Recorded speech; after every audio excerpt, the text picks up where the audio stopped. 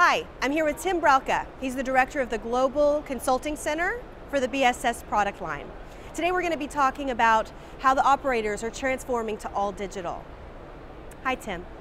As we all know, it is imperative for operators to turn to digital. So in recent years, some operators such as Telefonica, Telenor, France Telecom, and China Mobile have explored and practiced the digital transformation. As a leading vendor in the BSS industry, could you share with us your perspectives on that? Yeah, I think it's absolutely the right way. It's mandatory.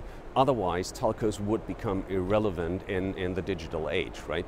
Um, just to, to, to give some, some, some background on that, um, actually all the digital service providers can process many more transactions than telcos can in a single day. They do it as a faster time for the order completion and at a fraction of the cost, right? Um, and on top of that, they understand marketing and sales in a different way. They fully embrace and inherit the social media for sales and marketing. Whereas telcos very often still use their outbound and inbound call centers to do basically one-to-one -one interaction and not embracing the, the social media paradigm, right? Um, so there, there's a lot of those uh, parts, and just to, to highlight this a little bit with um, uh, one number. Um, last November, um, uh, Taobao um, processed 170 million transactions in a single day, right? Last November, that was 11-11, right?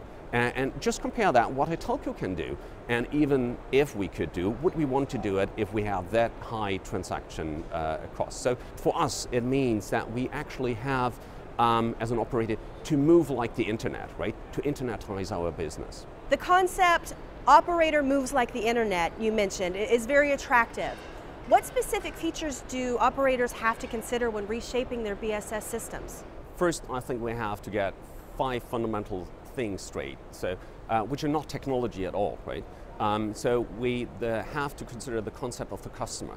At the moment we consider only a telco subscriber, but we have to understand the pen customer. So the customer is a human being, a social animal. So we have to understand all those aspects, right? The second is the experience, right? Um, because if we understand the customer right, we can use this for the segmentation and actually creating a better, non-fragmented customer experience. So, and the third part is the product. It's not only telco product, so it's not only the voice minute, it's not only the data, it's actually all the kinds of uh, digital goods and physical goods that we can bundle into that and offer to the, to the customer. And then the value chain. So far, the telco always wanted to dominate the telco chain, but we have to work with partners. Look at the digital world, right? How they expose and integrate their services into offerings of others and enable them. So understand our position as a partner in the value chain and an enabler for our partners as well. And last but not least, the infrastructure as such. We have to expose our ITC resources um, basically in a virtualized manner uh, to our customers. So what that does mean for the architecture itself, it would have to be a layered architecture. So a custom interaction layer, which is highly scalable and performant, but doesn't contain the data and the logic. That sits then in the service layer, the next big layer below that. And the major element of that will be the real-time decisioning support. So that's basically real-time analytics and BI to enable and trigger those decisions in real time. And that's all based on an infrastructure layer, which um, basically is based on the cloud so that we can virtualize it and be very performant. And now what are the key factors for an operator to consider when transforming to an all-digital telco?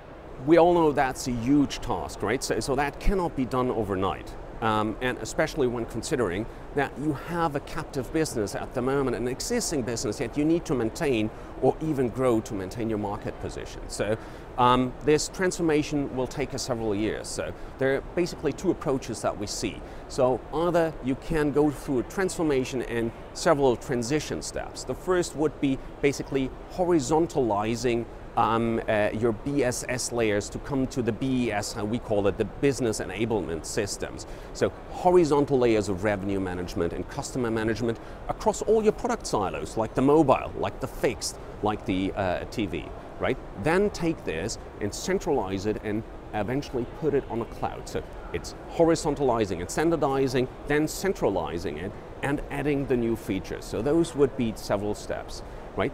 But honestly, that would take long. Or the other way could be a greenfield approach. So you build up a separate stack, right? Um, that you then only first use for new customers, so new subscribers that are joining you and new partners, and then step by step migrating the existing uh, customers segment by segment, business by business, onto this new greenfield stack and dry out the old infrastructure, and then you get there as well.